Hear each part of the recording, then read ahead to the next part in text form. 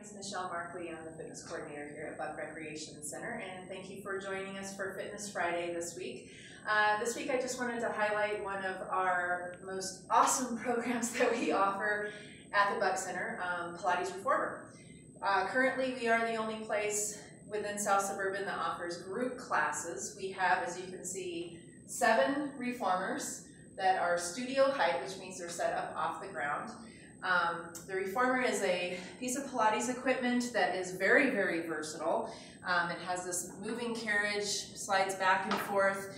You can lay on it, kneel on it, sit on it forwards, backwards, do planks on it, various things, and it's attached to spring load of varying resistance that um, depending upon the exercise that you do.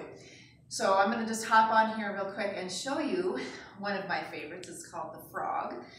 Um, so these straps can go on your hands or your feet, and I'm going to slide them on my feet. And frog is a very um, basic reformer exercise that's a lot um, harder than it looks.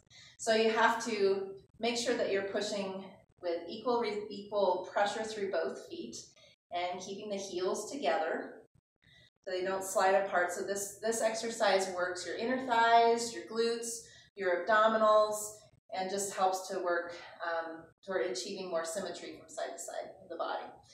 Uh, plus it feels great. It's a great hip opener.